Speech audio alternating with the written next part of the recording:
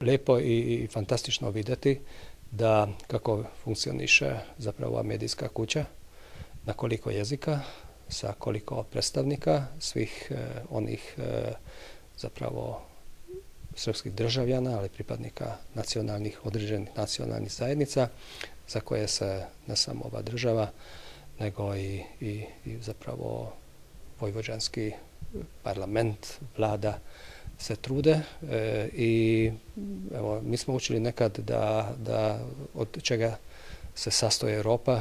Europa je zapravo nekakva množina sa puna pluralizma, e, prava, mogućnosti, kulturne raznolikosti. Ja mislim da se sve to ovdje u malome može ne samo prepoznati, nego izričito ceniti.